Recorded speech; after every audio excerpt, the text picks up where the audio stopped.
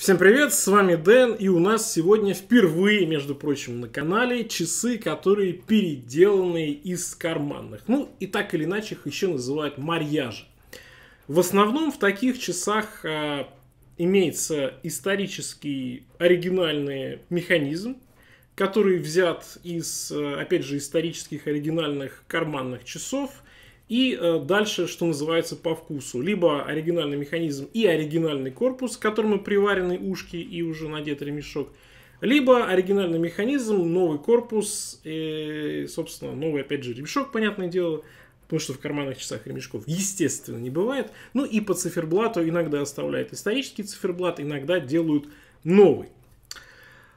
Все абсолютно естественно всегда по-разному, и качество таких часов, а, механизмов, оно тоже абсолютно разное, потому что иногда берут просто базовый механизм, в лучшем случае его там почистят от пыли, а, ставят в новый корпус. А, иногда механизм полностью перерабатывают, пересобирают и даже иногда скелетонируют.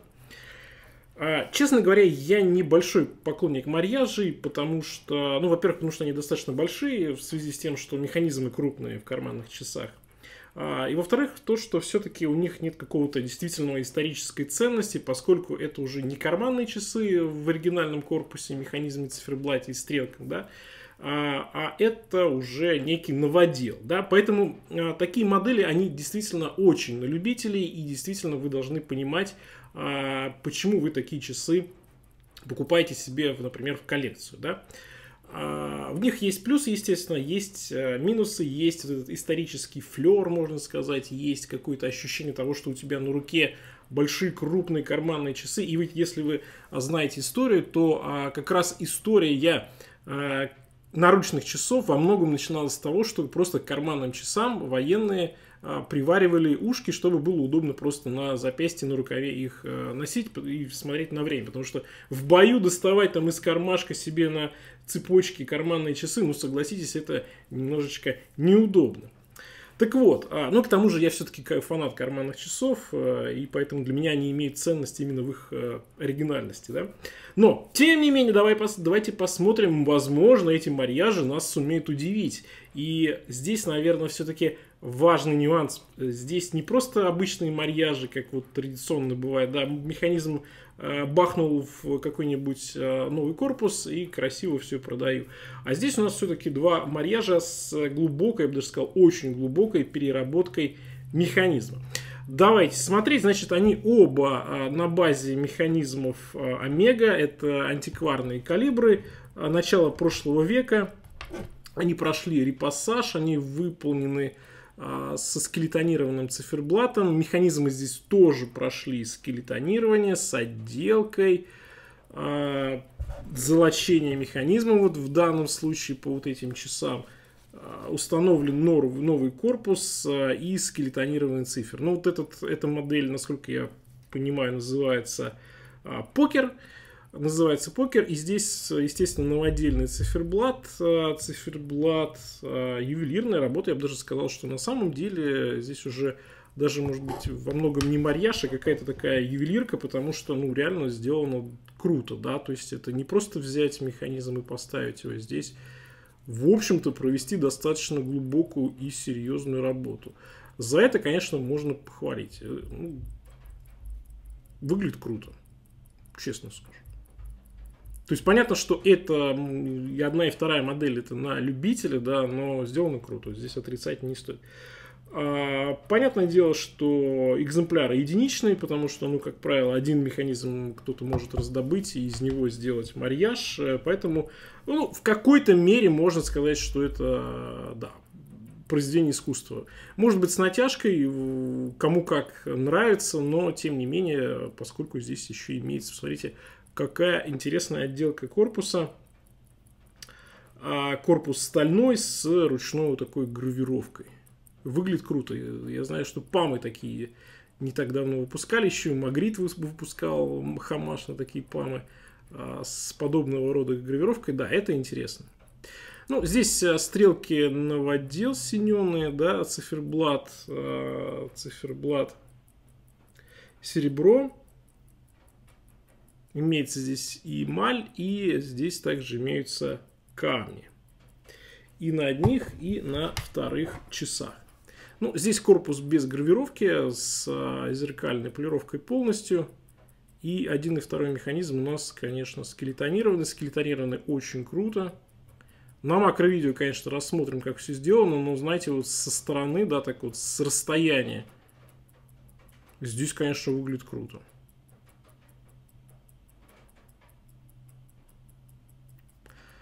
Надпись Омега это оригинальная надпись на механизме. Ее просто, вот видите, когда скелетонировали механизм, ее не убрали, естественно, потому что это круто. А вот здесь циферблат это уже новодел. А меня обычно все-таки в марьяжах, знаете, какая вещь смущает, что их а, иногда продавцы называют по названию механизма. То есть могут сказать там Улис Нардан, там, да, Омега. И в данном случае тоже на циферблате указано Омега, хотя а, по факту не все продавцы откровенно вам говорят, что, в общем-то, это марьяж, да, и э, ну, глобально нельзя сказать, что это часы Омега, да, это часы а, с механизмом, с оригинальным механизмом Омега. Вот так будет, будет правильно. Приятные кожаные ремешочки, очень мягкие, очень качественные, мне нравятся. Ну, бакли здесь простенькая, хотя, может быть, хотелось бы что-нибудь более такой сексуальный, с учетом того, что здесь э, такая красивая гравировка. Ну, вот, в общем, видимо, расчет на то, что все-таки владельцы этих часов дальше будут уже сами покупать э, разнообразные ремешки, чтобы как-то это все а, разнообразить повседневной жизни. Поскольку это базовый ремешок, ну, многим захочется что-то более разнообразное, да?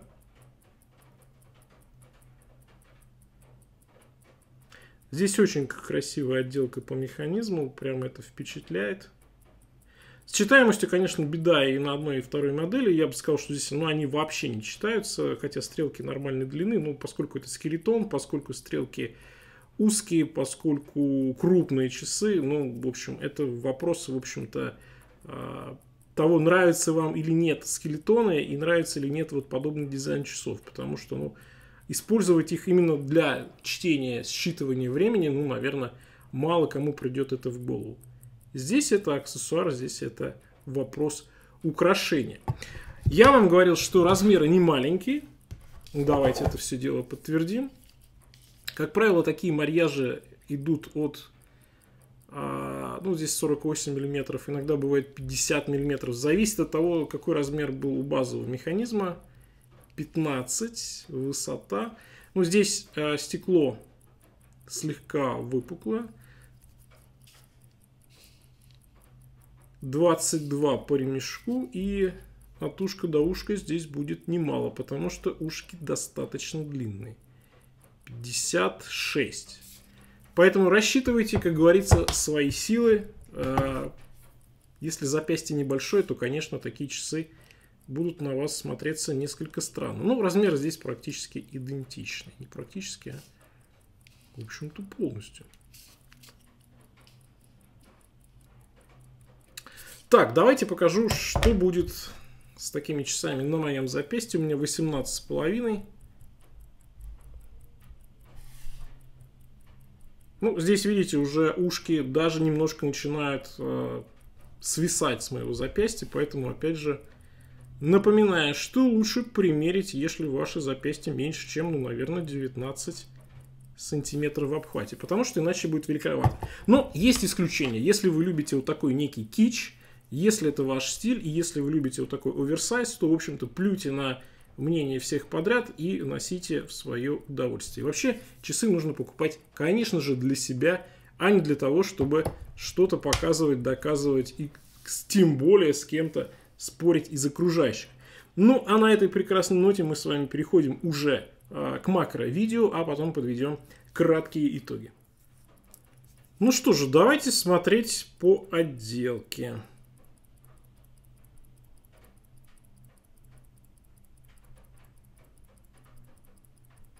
Напишите, кстати, в комментарии, как вам эти модели, как вам идея, как вам реализация.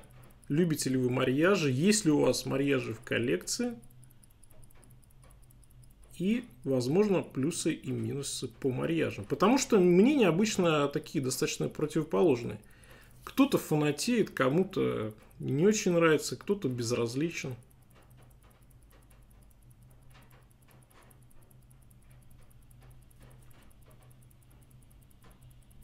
Самые доступные марьяжи на самом деле делаются на молнии.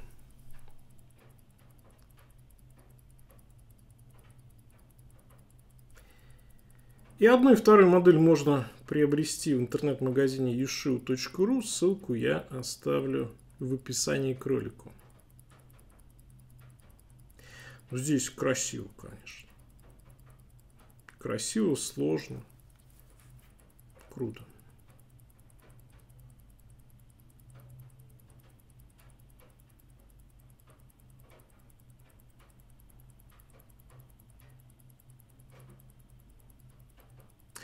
Что касается цены, то а, вот эти часы покер стоят около 90 тысяч рублей. Что сказать по итогам? Ну, я уже говорил о том, что это продукт специфичный, продукт не такой уж и доступный, если он исполнен качественно, а не когда просто берется на Алиэкспресс какой-то базовый корпус, сюда а, впихивается, в общем-то, самые дешевые карманные часы или даже просто купленный калибр, опять же, где-нибудь на Авито, да. Этот вопрос мы, вариант не рассматриваем, мы рассматриваем, когда все-таки это достаточно хорошо исполнено. Когда это исполнено хорошо, то это такой во многом имиджевый аксессуар или аксессуар э, для души, можно так сказать, потому что, опять же, повторюсь в очередной раз, что это э, специфичная модель не для каждого. В данном случае модели исполнены на высоком уровне, скелетонирование здесь классно, механизм обработан, а, идея, определенная идея есть, здесь есть гравировка по корпусу, поэтому да, почему, собственно говоря, и нет, если вам такие часы нравятся. Но самое, наверное, главное здесь э, нужно примерять, потому что такие часы, они всегда достаточно крупные по диаметру. Ну что же, на этой ноте я с вами прощаюсь. Всем пока. Не забываем ставить царские лучшие на ютубе лайки. С вами был Дэн. Увидимся.